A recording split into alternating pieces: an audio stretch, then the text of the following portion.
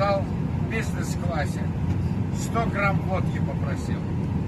Мальчик, я не знаю, голубенький он или нет, сказал, что я адекватно себя не веду, что я пьяница и алкоголик.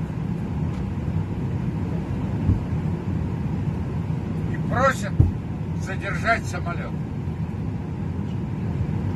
Я прошу у вас прощения.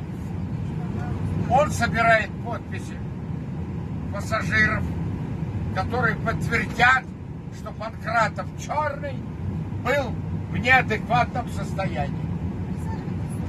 Я, простите меня, перед вами в адекватном состоянии. Улетаю со своей родины, с Алтая. В Москву. Потом на Украину. Донецк. Простите меня, Христа ради, если я виноват.